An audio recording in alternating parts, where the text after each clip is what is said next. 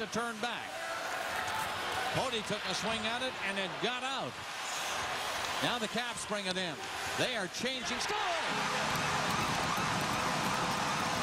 I don't know if Fleury saw it, but it's a tie game.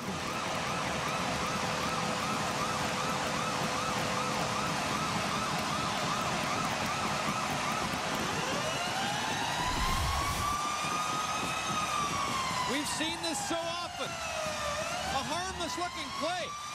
Orpik's right up on him. But Orpik has to go quicker. He doesn't. And there's that lethal, and I mean lethal, wrist shot that we've seen throughout the season and in this playoff series.